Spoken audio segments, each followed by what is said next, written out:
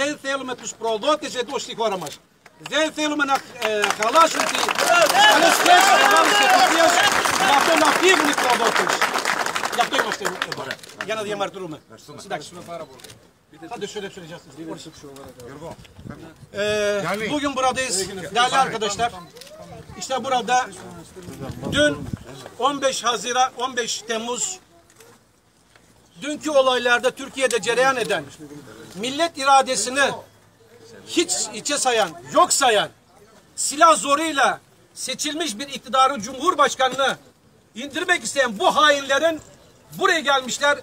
Buraya geldiklerini duyduğumuz için onların Türkiye iadesini Yunanlı yetkililerden, ülkemiz yetkililerden iadesini istemek için, protesto etmek için buradayız.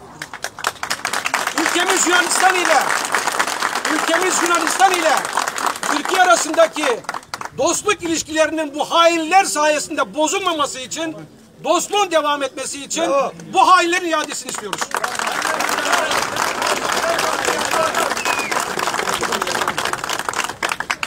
Tamam.